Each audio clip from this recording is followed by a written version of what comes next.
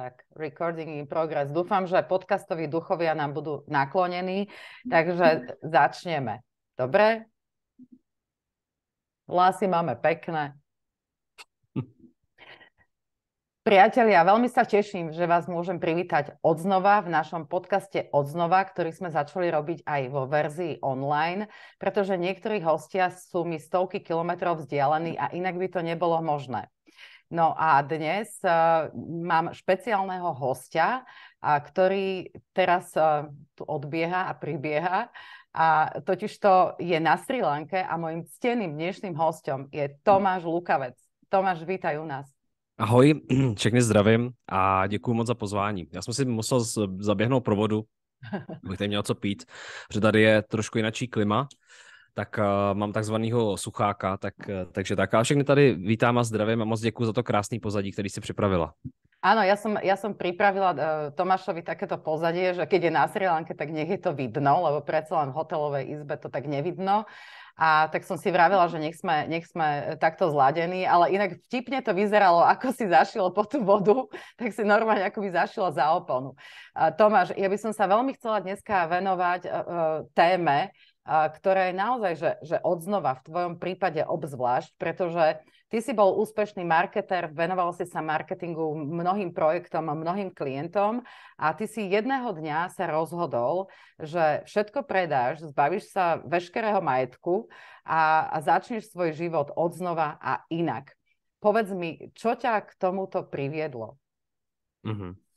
Já si myslím, že odznova je docela silný slovo a spíš jsem cítil, že uh, to nedává smysl, co jsem dělal. Um, já jsem o tom nedávno psal takový příspěvek, který jsem se ještě neodvážil zveřejnit. Možná ho dám nakonec uh, do nějaké svojí publikace, protože mě čím dá víc postupem času dochází, jak, uh, jak nepředstavitelný pro mnoho lidí dneska může být to úplně překopat život. A v tom dobrém slova smyslu. A abych se vrátil k tomu svýmu příběhu, tak já jsem opravdu dělal marketing, měl jsem agenturu, měl jsem krásný kanceláře, byt v Praze, v centru, no prostě takový ten ideální život mladého člověka, který už je jako předtím založit tu rodinu a jet dál v tom systému, jo. A já jsem se zastavil v jednu chvíli a zjistil jsem, že najednou, i když mě lidi eh, vnímají jako někoho, kdo něco dokázal, tak já jsem měl pocit, že jsem úplná troska. Že jsem jenom takový to kolečko. Um, a bylo mi, jest, bylo mi jistý, že jsem to zvolil. I když jsem šel od toho školství, jo, základní škola, střední škola, vysoká škola, pak uh, přišel jsem k tomu nějak jak slepej ghosting tomu marketingu, začal jsem to dělat, věnovat se tomu, byl jsem v tom dobrý, tak uh, i přesto všechno, že to fungovalo a že to vypadalo skvěle a přinášelo to užitek nejenom mě, ale i klientům samozřejmě, tak já sám, když jsem stál na těch podích, mě docházelo, že že je to prázdný, že mám dvě možnosti. Buď to toho budu dělat víc a budu mít víc potlesku a budu mít ne v sále tisíc, patnáct lidí, ale třeba deset tisíc lidí. A nebo to dělat nebudu a jenom se zamyslím, co mi opravdu dělá radost a co mě dělá šťastným. A teďka to zní hrozně hezky, jak to vyprávím, ale realita byla taková, že já jsem nevěděl kudy kam, takže jsem začal chlastat. Já jsem opravdu pil hodně alkoholu každý den. Do toho jsem uh, pracoval do večera, do tří do rána. Vykouřil jsem dvě krabičky denně. Skoro s nikým jsem se nevídal, protože jsem prostě jednoduše nevěděl proč, proč mám být mezi lidma, proč mám kultivovat přátelství, proč se mám výdat s rodinou. Prostě jsem byl v takovém tom napojení se na tom, že ráno vstanu, zajedu za klientama, udělám další biznis, lidi v týmu budou spoko, já budu spoko a budu hromadit dál prachy. Jo, to byl, jo, to byl takový ten jako a teďka zpětně, když se na to podívám, tak to bylo vtipný, protože já jsem si říkal, k čemu, jako k čemu to hromadíme ty peníze, jo? K čemu to tam jako máme, na co čekáme, co s tím chceme dělat. Ta rakve, ta rakev fakt nemá kapsičky a, a každý den můžeme umřít. A mně se stala ještě jedna šťastná, krásná věc, že já jsem měl pálení žáhy docela dlouho. A, a, a v té době, když jsem začínal cítit, že toho je málo a že chci víc, začal jsem být víc hamižný a sobecký a víc egocentrický, tak najednou mi začalo tělo vypovídat. V mých nějakých 20 něco leta, letech, jo, 30 let, co si říkal, to je divný. A pálila mě hrozně žáha. Já jsem to pořád zalejval kafem, a těma cigárama jsem to přebíjel a jednoho večera jsem najednou, když jsem se napil vody, tak ta voda chtěla ven z těla. Bylo asi tři ráno, čtyři ráno a já jsem začal natahovat. A tam jsem si uvědomil, že něco není v pořádku, že to tělo už taky začíná vypovídat ale já se strašně moc omlouvám. On teďka pán mi tady zvoní, že mi přinese router. Takže uh, já se na to napojím, drž myšlenku. Já mu jenom řeknu, ať přijde později. Jo? Tak, to je Dobre. prostě klasický život na cestách, přátelé. Takhle to vypadá, všechno tady vidíte, jak to tak jako je ten život, není to dokonalý, je to tak, jak to je. Takže chviličku. Áno, áno, ja som to teraz prepla, aby teda bol chvíľku vidieť mňa.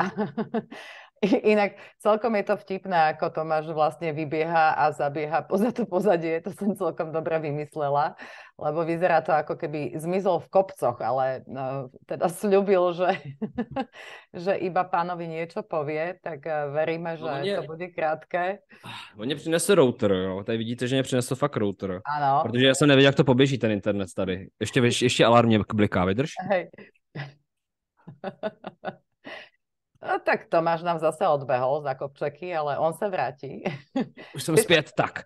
A skončili to... jsme anotáni, no, promiň. To, Tomáš, v pohode, len chcem povedať, že hrozně je to vtipné, ako tam máš to pozadie, že to vyzerá, ako keby si zmizol v těch kopcoch úplně, víš, že... Počkej, já ho dám pryč na chvíli, ne, to jde taky tady. Počkej, ale já to radši nebudu dělat, pak mě to nepůjde zpátky. No, nie, tak... nepůjde ti to zpět a ještě náhodou se stane, že nám to spadne a půjdeme od znova, tak tomu se no, můžeme vyhnúť. Vieš, že omen, nomen, tak jakože, aby se nám to nestalo. Dobře. Tak jo, no, kde jsme skončili? Skončili jsme... Tam, že ti bylo vlastně až, až, že ti vlastně tělo začalo vypovedať. Tak, tak, tělo začalo vypovídat. No a najednou to, co jsem odkládal, tu strašně dlouhou dobu, protože já, k čemu jsem měl vždycky největší vášeň, bylo psaní. Ano. Bylo psaní. Bylo psát obsah, psát knihy, psát uh, příběhy, uh, zabývat se lidskými příběhy, setkávat se s lidma. A tohle to jsem dlouho odkládal, já jsem to dělal akorát na dovolených, to znamená, pardon, já jsem odjížděl na dovolený proto, abych jako žil svůj sen, jo. A to dneska dělá taky hromady lidí. Oni odjedou na dovolenou a tam začnou najednou něco dělat, co mají rádi. A pak se vrátí do té rutiny. No a Uh, takže moje obrovská vášeň byla psaní a já jsem to, co jsem odkládal, ty dlouhé měsíce a roky, tak najednou během toho asi týdne, měsíce, díky tomu zdravotnímu stavu šlo takhle. Ano, že se to no, zkrátka... No, no zkrát, jasně. A, a během jednoho měsíce, dvou měsíců jsem se všechno překopal, jak si správně řekla, vzdal jsem se firmy, rozpustil jsem to, lidi jsem propustil, oni byli rádi, protože mě, ze mě byli na nervy, já jsem byl úplně nepříčetný. Jako ono, když procházíš fakt nějakou jako proměnou nebo změnou paradigmatu, tak to není tak, že vám všichni fandějí a říkají, ježíš, to je super, ne. Vy vypadáte vy najednou začnete působit jako uh, narkomani, nebo jako úplný ufoni, nebo jako blázni, nebo jako, že jste spadli někde a že máte otřes mozku. A tak začalo, takže oni byli rádi, já jsem byl rád, všechno jsme rozpustili, zavolal jsem do azylového domu, oni si odvezli ty nábytky, které jsme tam měli, jo, jsme strašně jako si hráli na to, že to musí být fajnový, rozumíš, jo, takový ty jako exkluzivní, jo. Všechno to odjelo v tom jednom kamionu, už jsem to neviděl, byl jsem šťastný a teď, když jsem rozmýšlel, co dál se svým životem, No vzal jsem baťoch a začal jsem chodit po Evropě. Normálně jsem začal chodit. Ne jako jezdit, ale já jsem třeba fakt jako šel, Pešo, nebo v Česku hej? jsem začal, já pěšky, jo, pěšky jsem chodil, vždycky jsem si vzal jablíčko, najedl jsem se, pustil jsem si hudbu a přemýšlel jsem. A tahle ta etapa, pak jsem se teda jako přepravil třeba někam do Evropy, tam jsem chodil, poběžel jsem celý Atény, pak Sicílii v Itálii, no.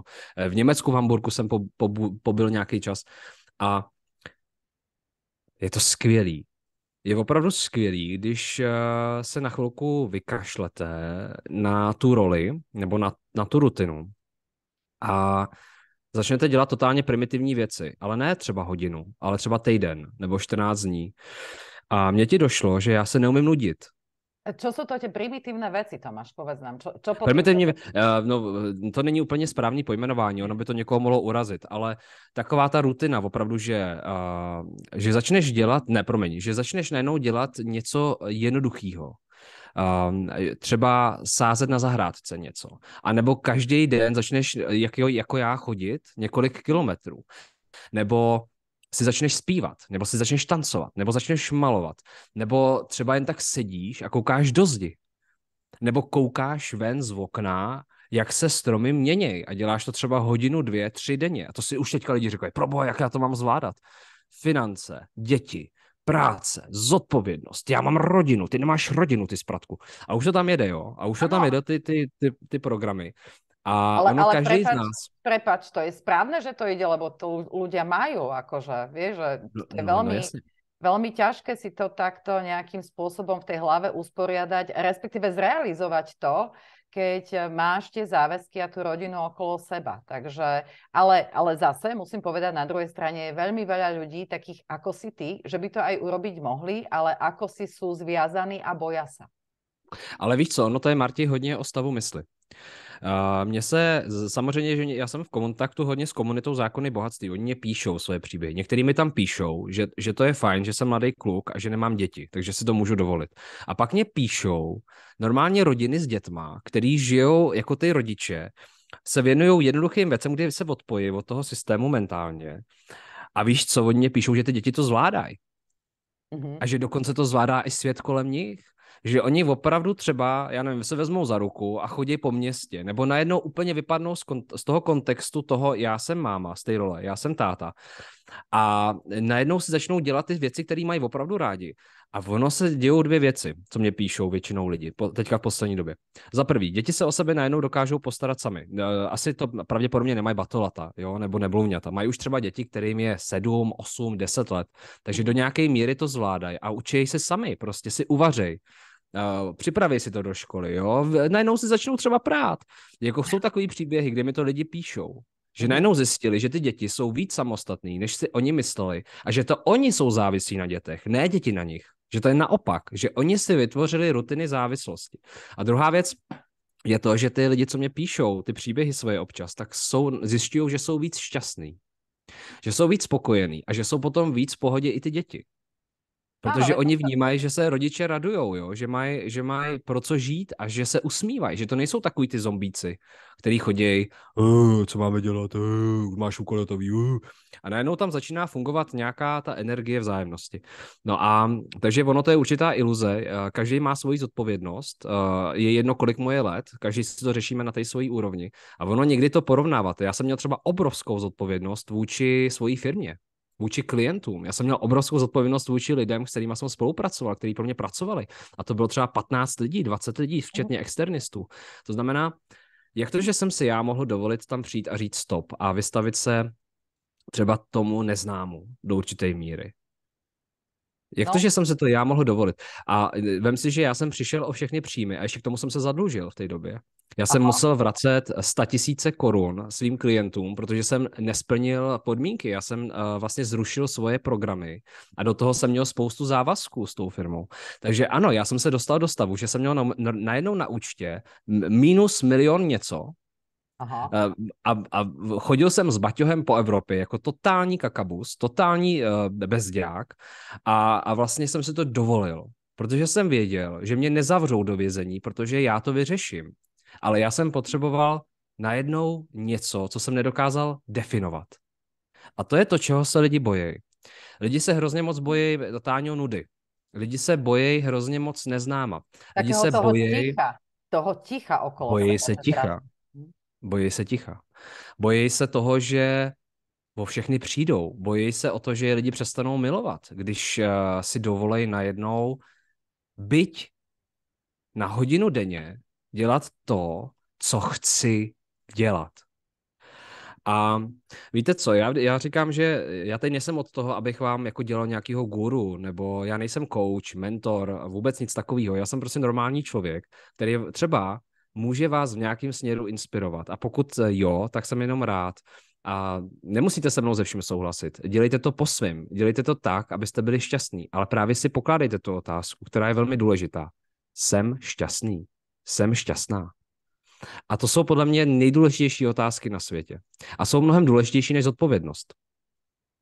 No, len väčšinou si... ľudia, ľudia, vieš, takto, takto nerozmýšľajú a v podstate my sme tak boli tomu učení a vlastne žijeme v takých častokrát, nie častokrát, niekedy non-stop, v takých presvedčeniach. A to ja, ja patrím tiež do tejto skupiny, že som na tej ceste nejakého že iného premyšľania, cítim to na sebe. Inak sa mi veľmi páčilo, keď si rozprával o tých činnostiach, že, že, rob, že, že som robil nejaké primitívne činnosti. Ja som tu pred dvomi týždňami začala natierať skrine v, v predsieni. A akože rodinné osadenstvo tuto akože bolo, že pane Bože, to čo robíš, že dobre to bolo, ako nič tomu nechýbalo. Len ja som mala pocit, že normálne potrebujem niečo sa z toho online sveta odputať a urobiť niečo konkrétne fyzicky ja a ešte tou bielou farbou vniesť ako, akési nejaké, že svetlo do tej našej predsiene, že úplne, že takéto no, smiešné. No. A, a hm. pýtali sa ma ľudia, že čo robíš? No, natieram všetko na bielo. Natieraš na bielo a to akože, že čo, prečo? no, tak mám ten pocit, že potrebujem to natrieť na, natrieť na bielo. Takže to, to je asi to, čo ty aj teraz si vlastne hovoril, spomínal. A to ticho, to, to je naozaj, keď sa o tom rozprávam s ľuďmi, lebo v čom my sme boli, že stále vlastne niečo robiť, robiť, robiť. Najprv povinnosti, potom zábava. Vlastne takto sme žili, uh, ty si kus mladší odo mňa, ale my teda absolútne, hej, za, to, za toho sociku, tak to bolo nepredstaviteľné. Ja som nedávno išla s mužom okolo jazera, bývam v Senci a my tu máme takú, taký jacht klub. A ja som veľmi chcela chodiť na tie plachetnice a učiť sa tomu jachtingu. Ale doma mi povedali, že no určite ty, ty sa chceš ulievať, akože najprv práca, máme akože záhradu a vlastne sa to tak vyrátalo, že na ten jachting nikdy neostal čas, lebo vlastne najprv boli tie povinnosti. A ja sama som tým prestúpená, že naozaj, že najprv toto, toto, toto a potom, keď mi ostane čas.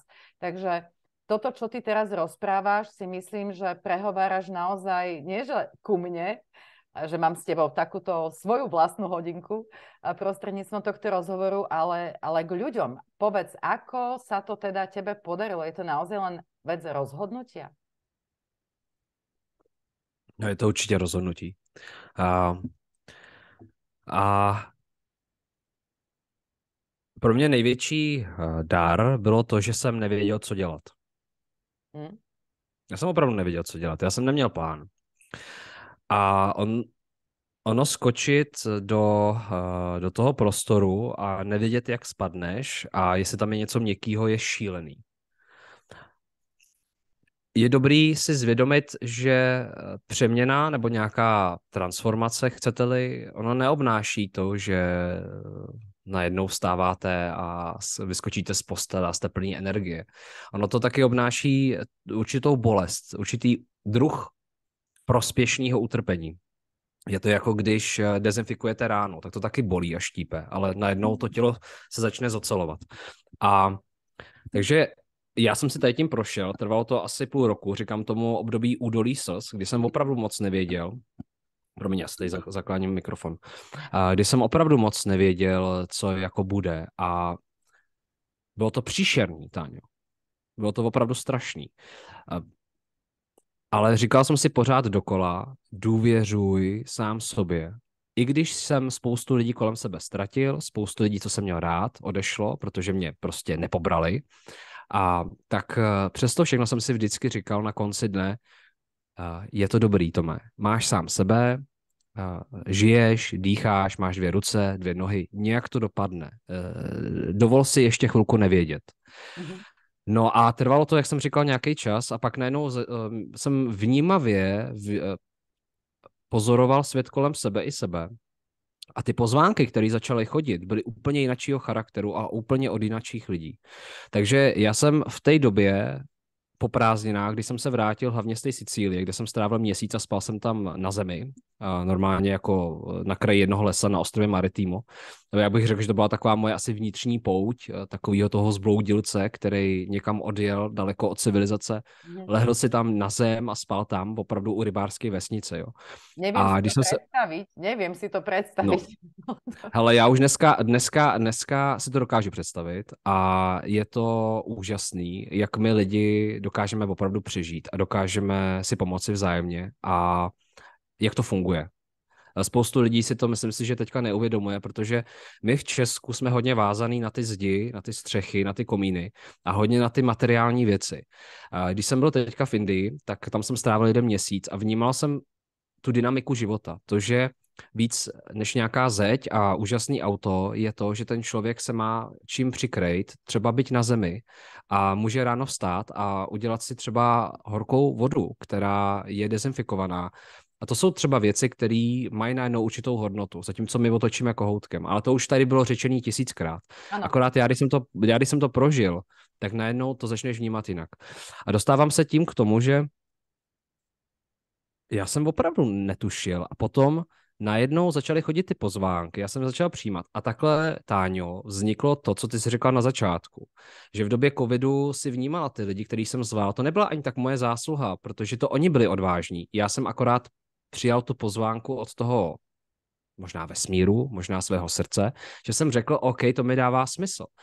A tak z toho vznikl dneska můj pořád, který dělám. Dělám to pořád na punk, nemám žádný úžasný studio, občas si podkládám počítač toaletníma papírama, když jsem někde na hotelu a dělám to rád, dělám to s láskou, není to o dokonalosti, je to o tom sdělení. Píšu knížky, věnuju se s komunitě, jsem s ní rád propojený, také vnímám samozřejmě i bolesti a, a trápení lidí, takže se snažím tam vnášet ne objektivní pravdy a hádat se s lidma, ale spíš tu laskavost, protože ta se začíná vytrácet, podle mě, a to nejenom v Česku, ale všude ve světě. Takže laskavost je pro mě důležitá, je pro mě důležitý, abych eh, měl třeba hrstku rejže denně, když, eh, když je dobře, tak si dám něco dobrýho, to víš, že rád zajdu do nějaké lepší restaurace, ale nedělám to proto, protože musím, dělám to proto, protože to tak je a třeba to cítím. A nevadí mě uh, to mít jinak, prostě mít to vždycky jinak. A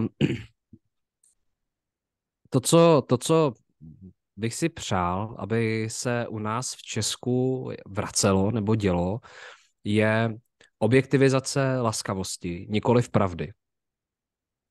Já si myslím, že my jsme hodně, i na Slovensku, že jsme hodně zaměřený Zrovna včera jsme se o tom bavili se svojí mámou. Ona, máma pracuje v Irsku jako sociální pracovnice a taky pentluje. A bavili jsme se o tom, eh, co jako vnímáme po tom čase jinak, když jsme takhle na cestách, nebo v tom jinačím paradigmatu, i co se týče okolního světa.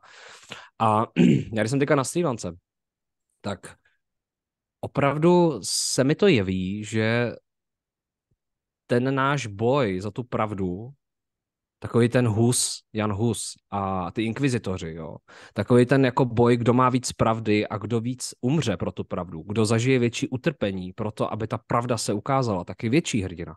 Takže tohle to může mít devastační efekt. A to ten, že za prvý eh, v tom boji se otevírají naše traumata, které jsou mnohdy irrelevantní a nejsou vůbec spojený s tím tématem pravdy, to znamená, jsou spojený s námi. A druhá věc je ta, že eh, v nás to kultivuje tu nenávist.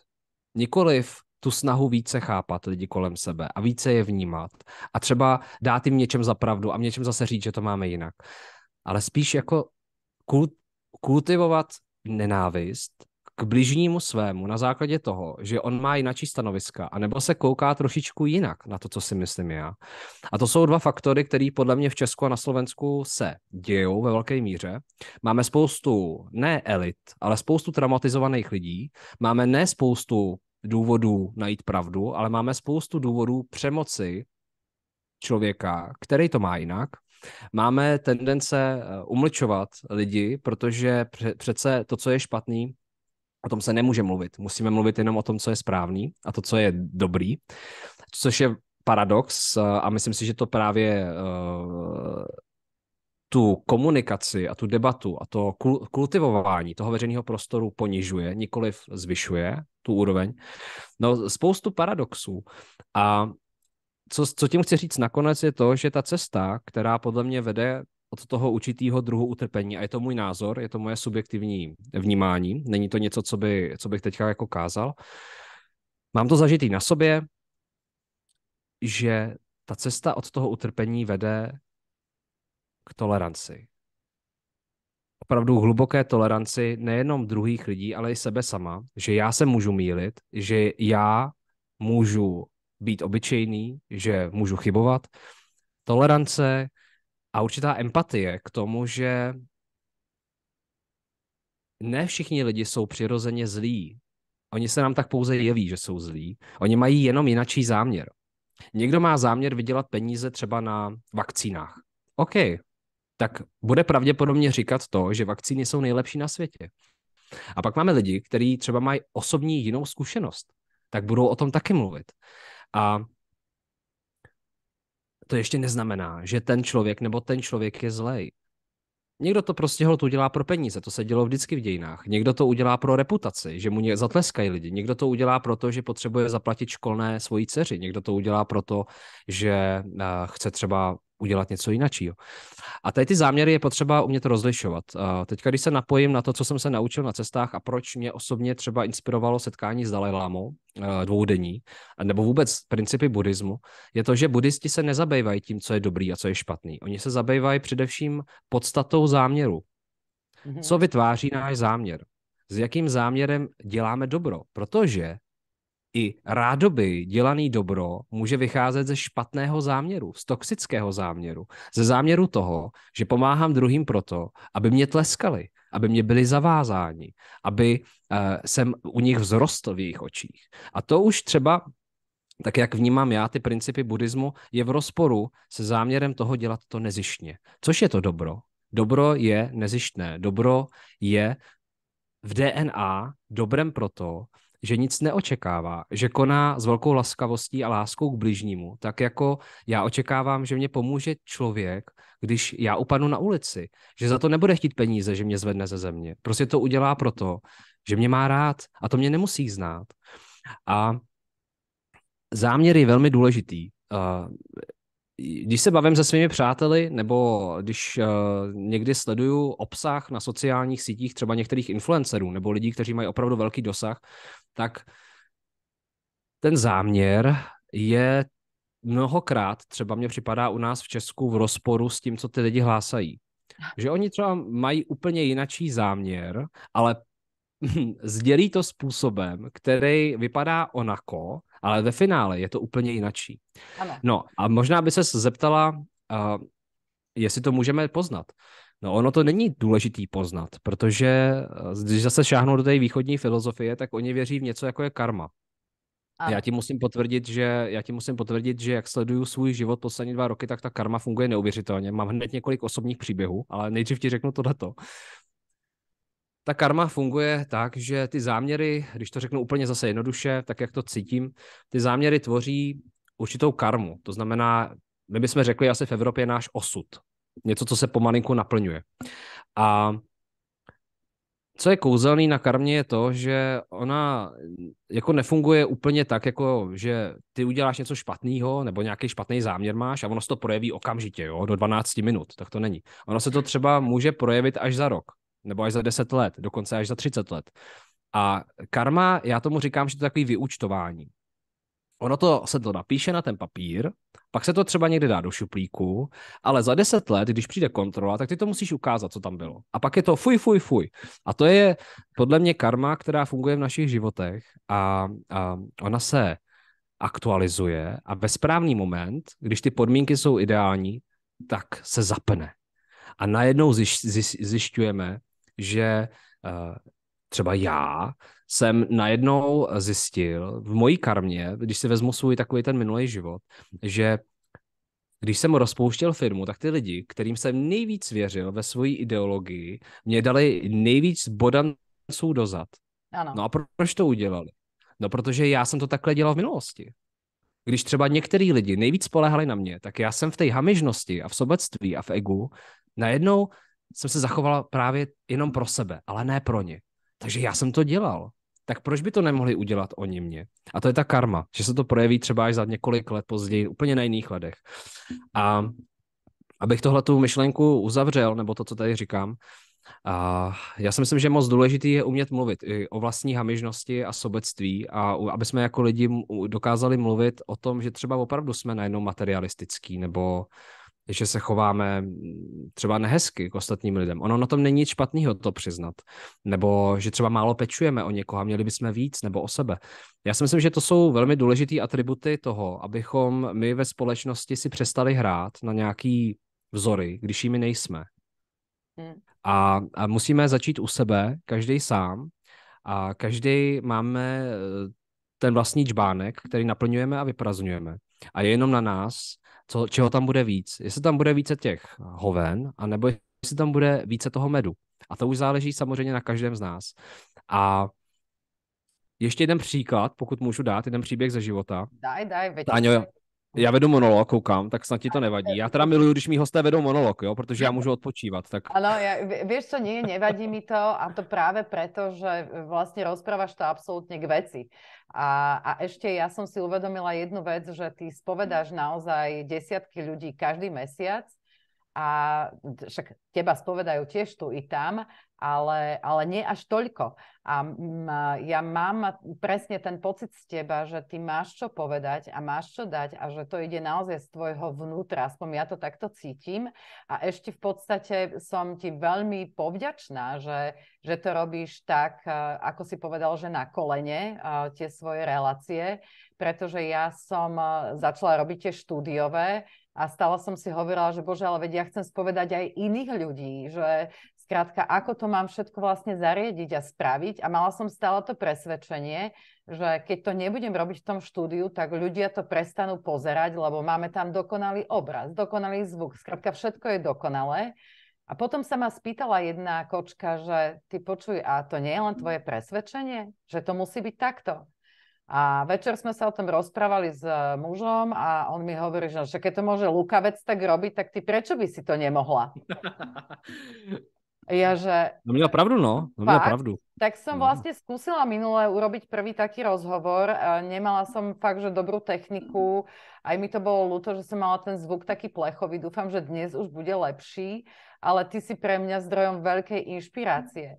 Takže ja ťa budem veľmi rada počúvať a musím povedať, že ja som dala taký post na moje sociálne siete, že budem robiť tento rozhovor s tebou a mám tu veľa otázok, aj teda od čitateľov magazínu 40+, ale aj od mojich blízkych priateľov, čiže ono sa neočakáva dnes, teraz ja už mám dlhý monolog, že tu ja budem veľa rozprávať, lebo tí ľudia chcú ťa počuť. Takže hovor. Daj Dobre, no tak poďme, poďme klidne na ty... Ešte, ešte som ti chcela, Tomáš, povedať, že ja som Martina, alebo Tina, alebo sem tam povieš Táňa, tak neviem, že či... Ježiš, promeň, promeň, promeň, to sa ti moc omlouvám. Možno si pred hodinou rozprával s nejakou Táňou, ale však ako ja som s tým v pohode. No promeň, to je, ano, mně se vždycky spojí v obličeji s nějakým, moc se ti omlouvám, to, mě, to, je, to je, asi proto mě každý zase říká Lukáš, jo, a já jsem Tomáš, tak já mám takovou zase dovednost, že dokážu zkomolit jméno každého. Takže Marti, pojďme klidně na ty otázky. V pohodě. Ani nie na otázky, ale ty si chcel dát ještě jeden příklad. Ano. Jsem ti do toho takto vstúpila, tak. tak já netuším, že či si si zapamätal ten příklad. Tak ano. E, já chci říct, že já jsem také stále na té cestě, to budu do konce života, stále budu učeň, ano. A mám, i když si pracuju vědomě s tím egem, nebo víc a víc vědomě, že se zastavuju a vždycky si řeknu, tak tohle bylo ego, kámo, tak mám dva příběhy, které hezky ilustrují to, co jsem říkal, abyste to dokázali posluchači nebo diváci představit. Mám jeden hezký a jeden takový eh, jako temný. Jo. Mm-hmm. Ten hezký je, že eh, při mých cestách Větnamem mě dala vědět jedna moje kamarádka, že schání peníze, že se dostala do určité nouze a jestli jí poradím, jak vydělat více peněz online. A poměrně šikovná dáma. Nebudu teda jmenovat, abych neodkryl soukromí. A já jsem nad tím přemýšlel, když jsem měl tu zprávu rozepsanou, tak jsem to smazal a prostě jsem se jí zeptal, nebo ať mě dá, dá svoje číslo účtu, že to je nejrychlejší, když jí pošlu peníze já, když jí něco daruju. Ano.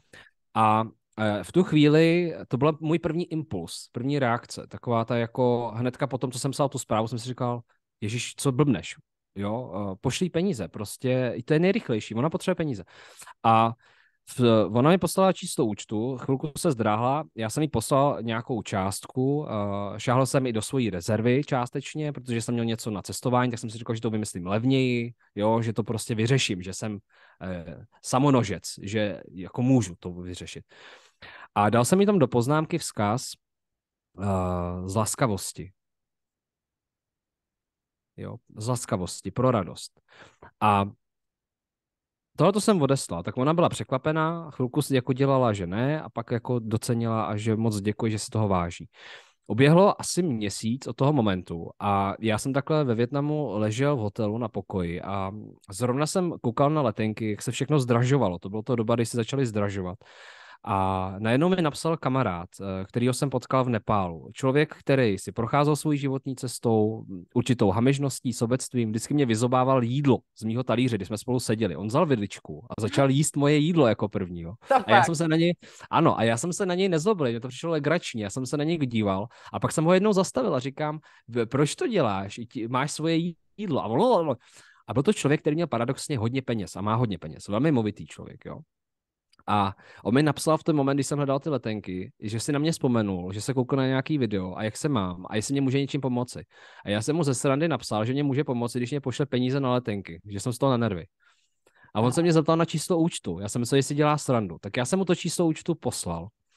No, druhého dne koukám do... Přišlo mě oznámení, že mi tam přišla nějaká částka, kouknu se a tam přesně částka, co jsem ani to nevěděl, potřeboval na letenky s poznámkou z laskavosti. Wow. Pro radost. A já jsem si říkal, to není možné, to se mi někde stalo. A pak jsem si přesně vzpomenul na tu kamarádku, co jsem mi poslal s tohletou podobnou poznámkou ty peníze. No, tak to je první pří, eh, příběh. A co je na něm zajímavé, je to, že ten kamarád by byl ten poslední člověk na světě, do kterého bych typnul, že mi něco pošle, když jsem si vzpomněl na to, jak mě vyzobával můj vlastní talíř. A druhý příběh je právě o takové té lidské um, um, jako domýšlivosti a tej, já jsem, já si řeknu ten příběh. To bylo se stalo v Indii teďka, v Darmasale, docela nedávno. Já jsem uh, procházel městem, je to nádherný město Darmasala, doporučuji vám se tam podívat na severu Indie. Je to i místo, kde právě si Dalai Lama v exilu v tuto chvíli. A procházel jsem uličkama a najednou za mnou přišel muž, že mi očistí boty, moje takový prostě už trošku oštrajdaný boty, jak všude chodím. A já, OK, tak jsem si sednul On mi jen začal nádherně čistit, voskovat, dávat dokupy. A usmíval se u toho. A já se ho ptám, co za to chce výměnou. A on řekl, že to nechá na mě, kolik mu dám peněz. A já jsem vytáhl asi nějakých 80 jejich, já jsem si takhle 60, takhle jsem mu to dal. A viděl jsem jeho reakci, že ta jeho reakce byla taková jako, že možná radši by nedostal nic. Aha. že by to radši udělal možná jako z té laskavosti. A já jsem se tak jako zamýšlel na tou jeho reakcí a říkal jsem si, tak to je asi málo. Ale najednou mě něco zastavilo, ten, ten takový ten sobeček a řekl, tak to teda ne. Prostě ty jsi to udělal z radosti uh, a najednou chceš jako víc. A já nevím, kolik, kolik to tady stojí a jak to chodí. Jo? Ano. A zasekl jsem se. Zasekl jsem se. Najednou jsem se lidsky zaseknul a on byl taky zaseknutý. No a o pár dní později, já jsem ty svoje boty, jak jsem chodil po těch horách, fakt jako za, zakecal, prostě dokonce jsme tam povolili některé ty uh, vazby, které drželi, drželi na té špičce bot, jednu botu dohromady. A šel, šel jsem takhle tou ulicí a vidím tam pána, co zpravuje boty úplně jinýho. A já mu říkám, tak jo, já to u vás spravím, dal jsem mu ty boty a nezeptal jsem se na cenu. Mm-hmm. Protože jsem to z té první zkušenosti jsem odvozoval, že to bude jako asi něco kolem třeba dobře tak stovky dvou, jo? možná o něco víc, než jsem dal. No a on to udělal pečlivě, spravil, nádhera a pak mě řekl 900. Ah. A já. Úplně vykulený, protože to je poměrně dost peněz, jo, v těch uh, rupích. Je to no, hodně peněz, jo. Já jako si to za... nevím představit, že koliko to je no. asi. No vypálil velkou částku, hmm. uh, ale já jsem z toho byl tak překvapený a tak zaražený a najednou úplně konsternovaný tím, že jsem byl v té pohodě, v té uvolněnosti, že jsem teda s ním začal trochu smlouvat, nakonec jsem mu dal asi 500 a odešel jsem. A samozřejmě o nějakou chvíli později jsem se dozvěděl, že běžně to dělají třeba za stovku za dvě. Že, to, mm. že 500 korun, nebo jako ne korun, ale rupí je hodně, hodně peněz a že mě vzal svým způsobem na hůl. No, a já jsem si řekl, aha, a kdy se mi tohle to stalo? Kdy jsem já měl pocit, že obírám někoho, kdo mi takhle pomohl s, přesně s botama? No jasně. Jo. Mm. Tomu ten první pán já jsem, já jsem se zaseknul a, a nezeptal jsem se ho, kolik to normálně stojí. Normálně jsem odešel a nechal jsem mu těch 60 a on měl blbý pocit a já měl blbý pocit. Hmm, mm-hmm. Takže mi to karma vrátila. Poslala mi tam obchodníčka, který si to vzal i za něj. Takže jsem to vlastně zaplatil, tu cenu tak, jak jsem měl, ale dal jsem to tomu jednomu. A to jsou dva příběhy karmy. Samozřejmě uh, nějak to v té karmě pracuje, asi to zabarvuje a, a hraje si dál i v té karmě těch obchodníků a všech lidí, co se účastní. Ale jenom, co vám tím chci říci a ukázat, je na svém subjektivním příběhu, který vás třeba může inspirovat, nemusí, jak ta karma může krásně fungovat. A že když vy se začnete zabývat těma situacema v životě, co se vám děje ten den, co se vám stalo s dětma, s rodičema, s, s šéfem, s kolegy v práci, co se vám najednou děje, ani tam nejsou zapojení lidi. Třeba přestane fungovat auto, jo, třeba nejde vlak. Tak co, co ten příběh dotváří a co tam může být v zákulisí? Kdy se vám to stalo, jenom vy jste byli v té jinačí roli, a nebo kdy jste ten atribut pocitový prožili jenom v jinačích okolnostech a najednou se vám to může odkrýt. Takže to je to, jak nad tím Marti přemýšlím já a poslední dobou a je to neuvěřitelná hra je to je to tak krásný a tak úžasný, že to doporučuju všem, ale je to na každém, ať si to sám jako přetřídí, jak potřebuje. Hej. Pekne, pekne to rozprávaš. Ja by som sa ešte vrátila k tej akoby hamižnosti, to, čo si spomínal, že vlastne ľudia veľmi práhnú po, po takých tých materiálnych veciach.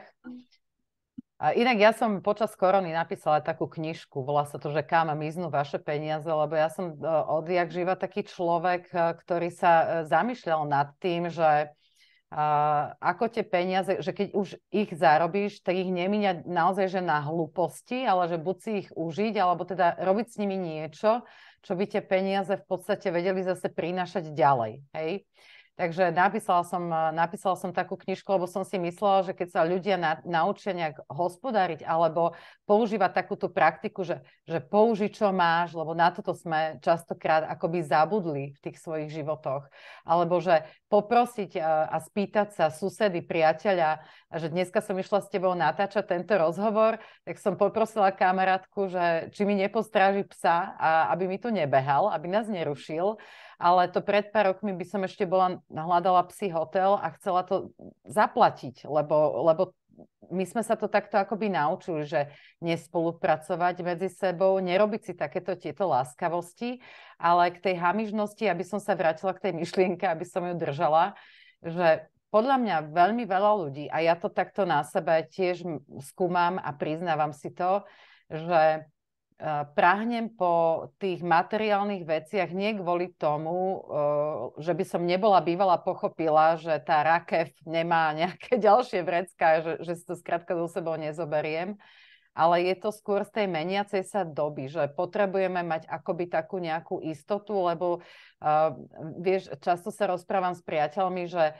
ty počúvaj, že ja mám taký pocit, že stávam, budujem si nejaké to pieskovisko a každý druhý deň akoby niekto príde a kopne mi do toho nohou a mi to rozbije.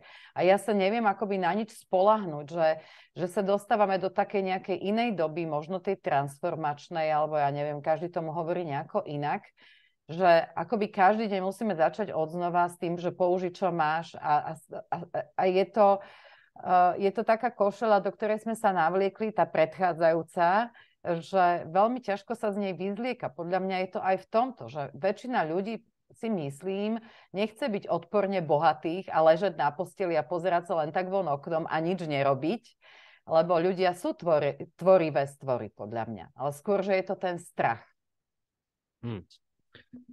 Mně se moc líbilo v Indii, oni dělali před, dom, před svýma takovýma chatrčema, který jsou poměrně jako, kdyby tam měl žít někdo z, z nás z Česka, tak by pravděpodobně jako skolaboval, jo, protože je takový ghetto.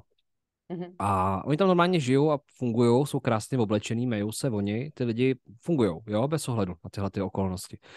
A oni tam každý ráno, vždycky ta rodina vyšla, víc jsem teda viděl vždycky slečny nebo dámy a malovali na, na tu zem před tím domečkem nějaký obraz, nějakou mantru a velmi, peč, velmi pečlivě, velmi jako krásně, jako vyhrávali si s tím a barvičky a různé tvary a všechno mělo svoji mytologii, všechno mělo svůj význam, nebylo to nic náhodilého. Tak to na mě působilo. A pak tam dávali někdy i pískem, jo, to obsyp, obsypávali, nebo tam dávali dokonce květiny. No a v té polovině dne nebo k večeru to bylo všechno rozkopaný a ty obrázky byly poničený, jak tam lidi chodili po té ulici. A nedávalo to smysl, byly rozmazaný. A já jsem z toho byl takový, chvilku jsem si říkal, tak uh, to je škoda, vypadá to krásně. No ale oni druhý den to udělali znovu. A udělali jinačí a udělali ještě krásnější. A usmívali se u toho, jako by jim nevadilo to, že ten předchozí obrázek zmizel. Jako by jim nevadilo, že to někdo rozkopal nebo uh, krokama rozchodil a že tam zmizely ta kvítka nebo ten písek. Oni se znovu radovali. A radovali se z toho procesu. Z toho, že to mohou vykonat a že ostatní to byť na krátkou sekundu spatří svým okem a že je to potěší, že jim to udělá radost, protože to byly mantry štěstí, byly to mantry zdraví, mantry dlouhého života a mantry vděčnosti. A mě tahle ta myšlenka inspirovala právě pro to, co ti chci říct, že možná ta pomíjivost těch věcí je mnohem smysluplnější než to, že ten hrad tam na tom pískovišti zalijeme betonem. Možná to, že tam může přijít někdo jinačí a ten eh, hrad celý zbořit a postavit tam něco jinačího, je právě to kouzlo života, ta proměnlivost, to, co se děje, i když my nechceme. To je to, co se odehrává i v momentech, kdy si myslíme, že naše auto je v bezpečí, tak někdo přijde a propíchne nám kolo z ničeho nic, venku pod lampou. A to my se učíme. A budeme se to učit ještě hodně dlouho, dokud se to nenaučíme, protože... Odznova a odznova. Odznova a odznova, protože uh, co jiného my lidi můžeme dělat na této planetě, než se učit? Dobře, my jsme nějaký rodičové, jsme maminky, tatínkové, jednou jsme dcera, syn, pak jsme dědečkové, pak jsme farmáři, pak jsme podnikatelé, pak jsme milionáři, pak jsme chudáci. Uh, jsme pořád něco, jako ty společenské masky, sociální role, OK, dobrý, je to jako v divadle. Ale ta podstata, podle mě, toho celého, proč tady teďka jsem, je tady nebýt. To je, to je to, kam nás to, nebo mě osobně vleče. A občas se mi stává, že si ulítnu a začnu lpět na, některým svým, na některou svojí dovedností, nebo atributem, nebo vlastností, nebo třeba nad nějakým charakterovým rysem, že si na tom začnu lpět a začnu si na tom zakládat, jo. Třeba v Evropě nebo v Česku hodně jdou horoskopy, jo. Tam jako si zakládáme na to, že někdo je štír, někdo váha, někdo pana, to je svině, ten je hodnej, jo. A, a, takhle, a takhle to jedeme. A to jsou všechno ty iluze, to jsou ty škatule, to jsou ty neuvěřitelné eh, normy, neuvěřitelné eh, masky, kterými si nasazujeme proto, a, abychom se v domění pravdy naučili rozstřiďovat lidi a naučili se zorientovávat v tom světě, který je chaotický, kde se omítka bortí, kde kitky vadnou, kde auta bourají, kde auta uh, sjedou z cesty, ve světě, kde někdo složí báse, někdo neumí do, do deseti dopočítat. Naopak uh, největší objev na Nobelovu cenu udělá ne vědec, ale někdo, kdo jenom přemýšlel nad tím, jak funguje vesmír.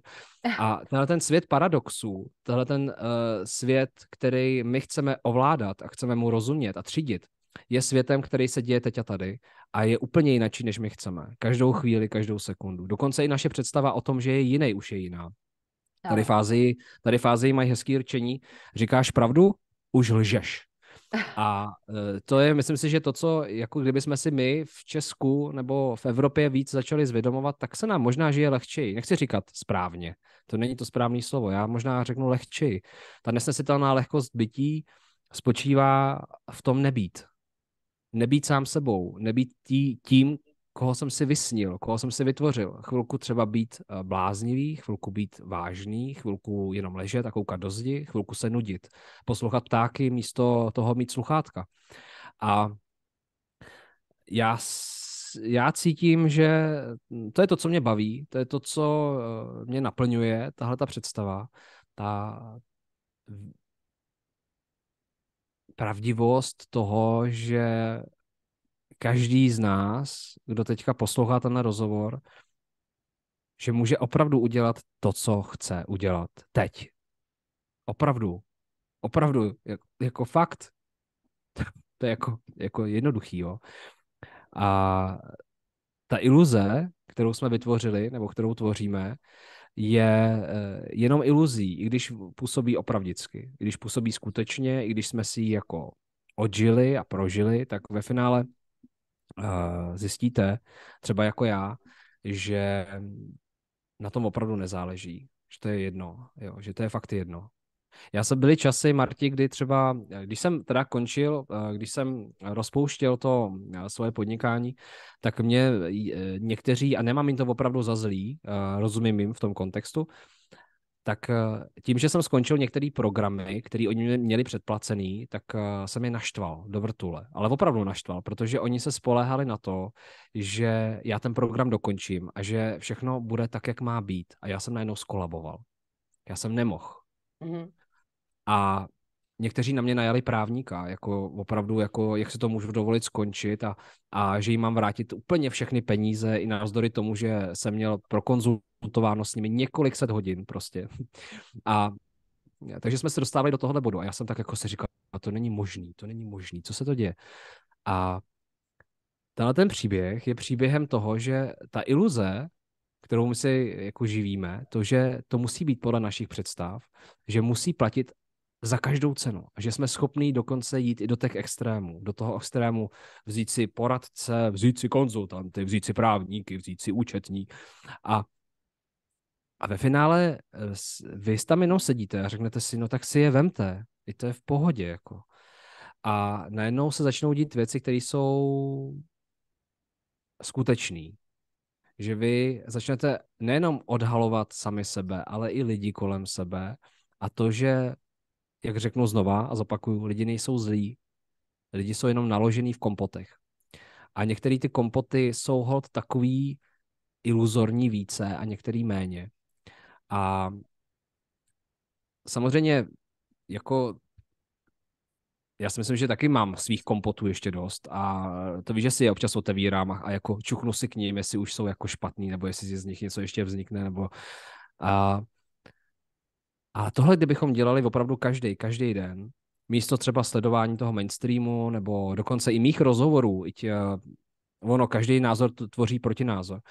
Kdyby místo toho YouTube a toho všeho, co děláme my, co tady kvákáme, kdyby každý náš posluchač se potom na tom rozhovoru na půl hodiny odvážil se zavřít na záchod, sednout si, nevykonávat žádnou potřebu a jenom sedět a koukat do zdi a dejchat. Jenom tohle dělat každý den, tak to je úplně...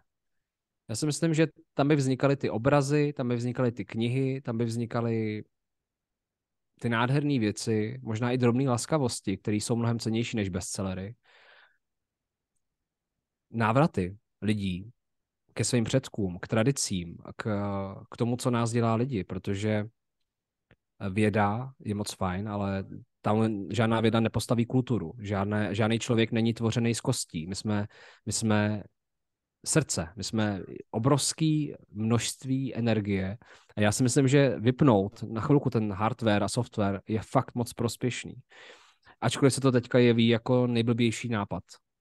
No ja len dúfam, že teraz eh, nás všetci nevypnú, lebo ešte pôjdu tie divacké otázky, vieš, že všetci teraz to vypnú, pôjdu na ten záchod, áno, a, no a, a potom už si to nedopozerajú, ale tak verím, verím, že hej, chápem, čo si hovoril inak eh, s, s tým odchodom na toaletu, eh, je to dobrý nápad, lebo ja zvyknem tak hovoriť, že najlepšie nápady za život, ktoré som dostala, boli väč- väčšinou tie, ktoré vznikli na záchode, alebo že naozaj som bola úplne taká, akože len som si tak sedela a tá, tá, dovolila som si, aby mi tá myšlienka vôbec mohla priletieť do tej hlavy.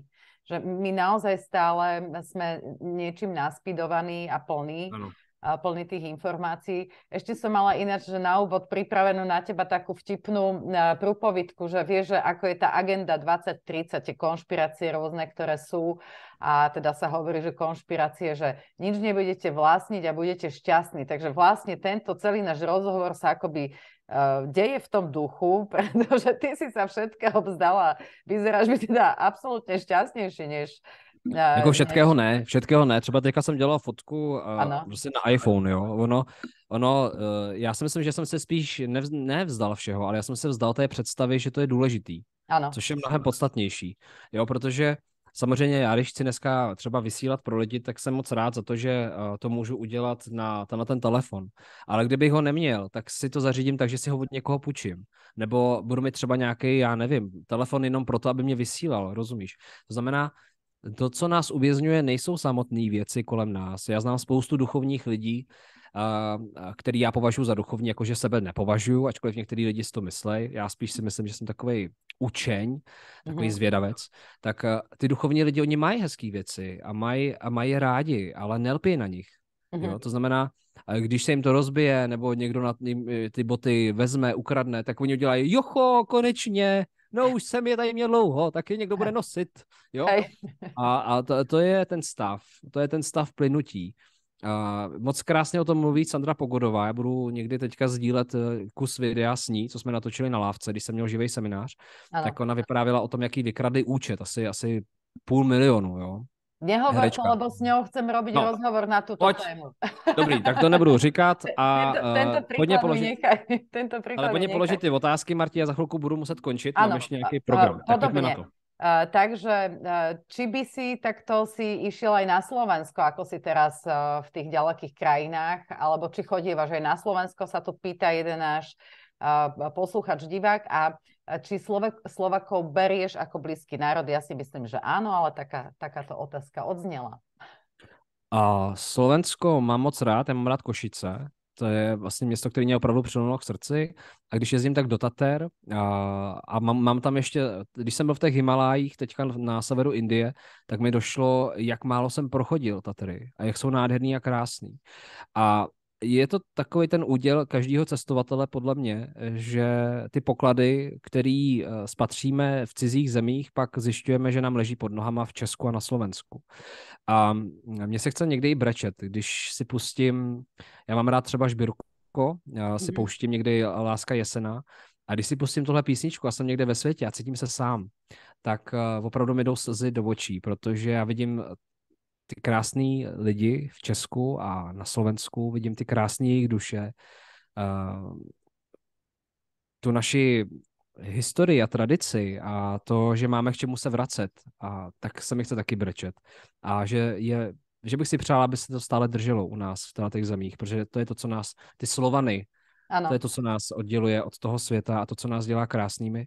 A mám moc rád českou přírodu na Slovensku, v Česku přírodu a uh, chci víc, uh, chci víc proskoumávat a chodit. Je, takže jo, uh, a nevidím, nevidím rozdíl mezi Českem a Slovenskem ve finále.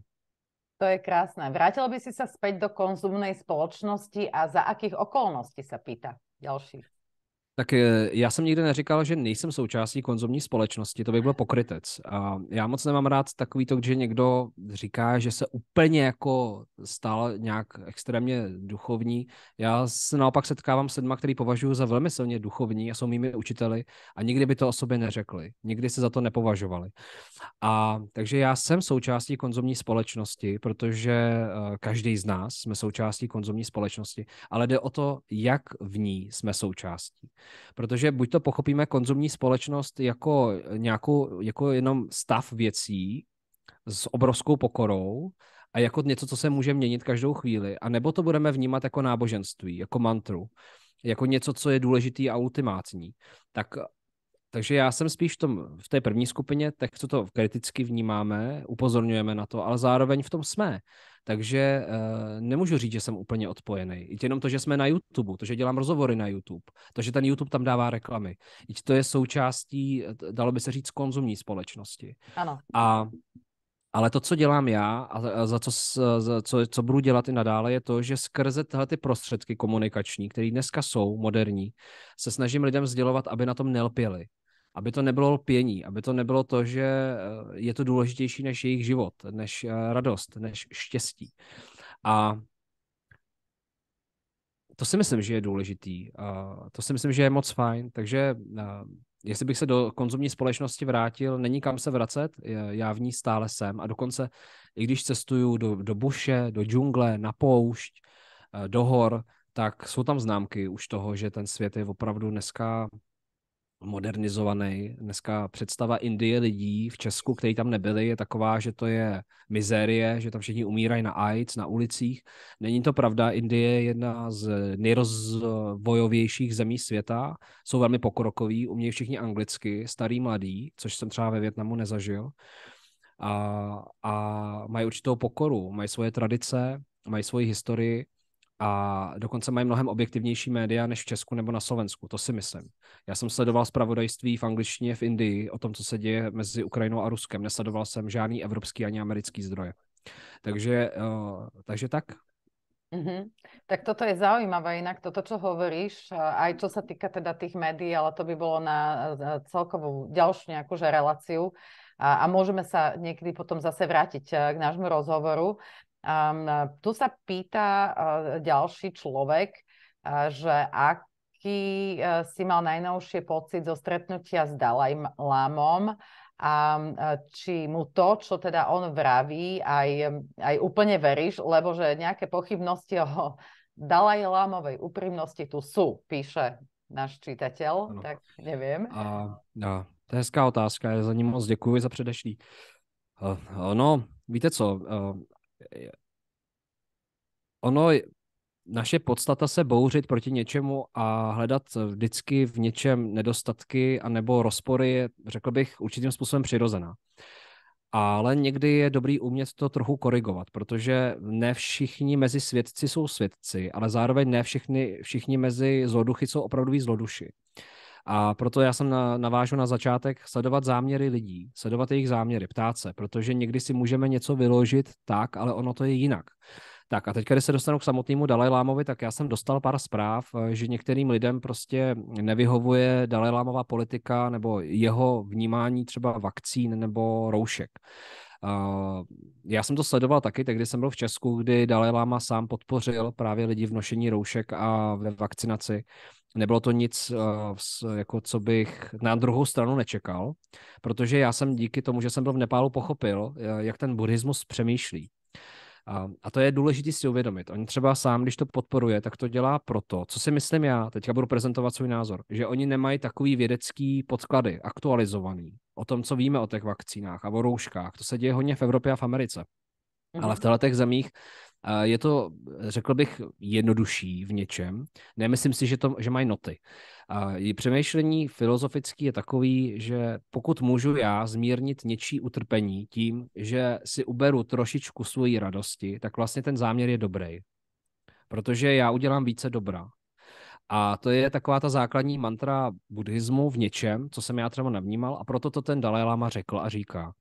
Myslím si, že kdyby třeba už měli úplně ty vědecké poznatky na takové úrovni a ověřený takovýma vědcema a tolika vědcema, zatím to jsou malé skupinky, podívej se v, České, v Česku a na Slovensku. I to jsou malé skupinky vědců, kteří na to upozorňují, tak jako když přišel cigaretový průmysl tak eh, všich, eh, většina doktorů kouřila, byli na, třeba někteří byli na obálkách cigaret, politici to podporovali. A, ano, uh, mám k tomu normálně video. Existuje no jasně, tomu, uh, to jsou, Promiň, Martě, že já to dopovím, aby mě neunikla myšlenka, ale to je, to je historicky, protože jsem dělal marketing, tak vím, jak to funguje v ohýbání mysli. To znamená, cigaretový průmysl vyrostl na novinářích, na politicích, na hercích a na doktorech. Protože doktoři byli ti, kteří byli v těch reklamách a doktorům lidi důvěřují. Trvalo to 60, 50, 70 let, než malé skupinky vědců to začali rozporovat a začali říkat, hele, možná to způsobuje rakovinu, hele, možná to má dalších 100, 150, 200 vedlejších účinků na lidský organismus. Dneska už jsou cigarety hodně um, potlačovaný, snaží se hodně státy regulovat, velký zatížení daňový nebo na DPH a tak dále, ale trvalo to dlouho. A takže já bych teďka úplně neobvinoval uh, tady ty představitele duchovní, protože oni berou to, co je a mě by třeba naštalo, kdyby Dalai Lama byl uh, v nějaké reklamní kampani na vakcíny Pfizeru. Tak to by mě teda opravdu jako naštvalo a řekl bych si, tak ten asi ulít, nebo nevím, co se stalo ale uh, v té normě je potřeba umět rozlišovat a jemně rozlišovat, protože ty záměry Dalajlámy podle mě jsou dobrý. Samozřejmě bude se to rozcházet s nějakýma vědeckýma skupinkama, s kterýma teda mimochodem souhlasím i já v Česku a na Slovensku a sleduju je a sleduju tu debatu a vím, že ta kritika je důležitá. Takže to je jenom k tomuhle tomu, jsem chtěl říct. Hej. Ďakujem, ďakujem krásne za túto odpoveď. Ja si myslím, že by sme si mohli potom niekedy dohodnúť ešte nejakú ďalšiu debatu, lebo mám tu ešte ďalších asi 10 otázok, ktoré som vlastne ani nestihla položiť, len sa bojím. Tak som si načasovala uh, túto, tento náš rozhovor, že za chvíľku ma ten Zoom vypne. A to by, ah, som teda, to, to by som teda veľmi nerada. Ja by som e, chcela ti e, v tejto chvíli naozaj, že poďakovať za tvoj čas, že si si aj na tých cestách e, našiel takto chvíľku pre nás, aby sme sa mohli tejto debate povenovať, že na, nakoniec nás tá technika počúvala, vidím, že už je tam večer, si si dal dole to pozadie. A... Já jsem to dal dole, abych nebyl rozmazaný radši, no, protože ano. už to že, že už to rozmazáva. Tak uh, želám ti uh, krásne dni a budem si samozrejme pozerať ďalšie tvoje informácie, ktoré dávaš na svoj kanál Zákony bohatství, a ktorý som ja až počas sa mi to trvalo chvíľku pochopila, že to bohatství, ty myslíš niečo iné, než to, čo by, za čím by tam človek na prvú akoby prišiel. Je to tak a moc děkuji Marti za pozvání, vážím si toho. A vidíš, že bychom si mohli povídat dál, těch témat je hodně. Ano. A přeju všem, co nás sledovali nebo sledují, aby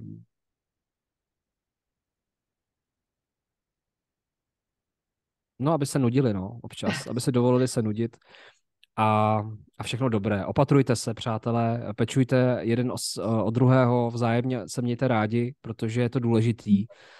Um, zapomeňme na to, že se to vytrácí nebo že to je pryč. Já si myslím, že právě tahle ta doba nám dává příležitost uh, tu lásku obnovovat, kultivovat, radovat se z ní a dávat jí ještě víc než kdykoliv v dějinách, protože eh, ta láska má vždycky smysl. Takže mějte se krásně, opatrujte se a díky Marti. Všetko dobré. Krásný záver a právě nás to vypína, myslím, takže těším se. A děkujem, děkujem.